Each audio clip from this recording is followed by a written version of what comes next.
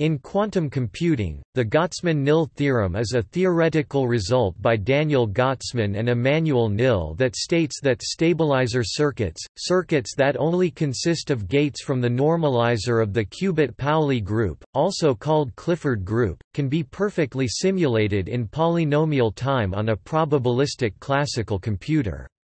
The Clifford group can be generated solely by using CNOT, Hadamard, and phase gates, Therefore stabilizer circuits can be constructed using only these gates.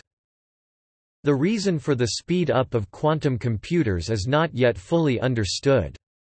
The theorem proves that, for all quantum algorithms with a speed up that relies on entanglement which can be achieved with a CNOT and a Hadamard gate to produce entangled states, this kind of entanglement alone does not give any computing advantage.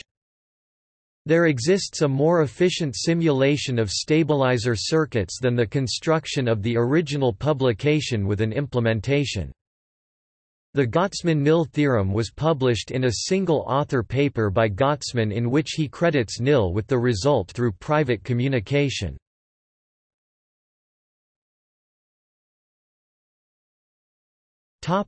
Formal statement Theorem – A quantum circuit using only the following elements can be simulated efficiently on a classical computer.